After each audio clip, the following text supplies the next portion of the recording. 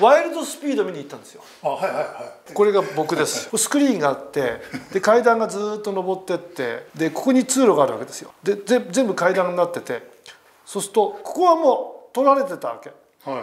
で僕ここ全然いなかったから、一番角の一番いいとこ取ったわけ。はいはい。で座ってたんですよ。そしたらこっちからこう若いやつが来たわけ。はい。でこの通路こっち行ったから、ああどこ行くのかなと思ったらからこう来て、俺の真横に座って隣に